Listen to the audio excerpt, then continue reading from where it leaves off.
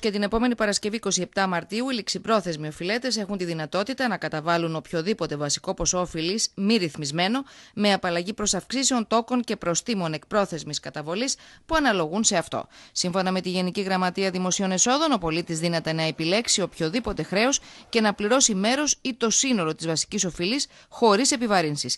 Η καταβολή διενεργείται με τη χρήση της ταυτότητας οφειλής στις τράπεζες και στα ΕΛΤΑ. Κατ' εξαίρεση, είναι δυνατή η καταβολή και στις ΔΟΗ.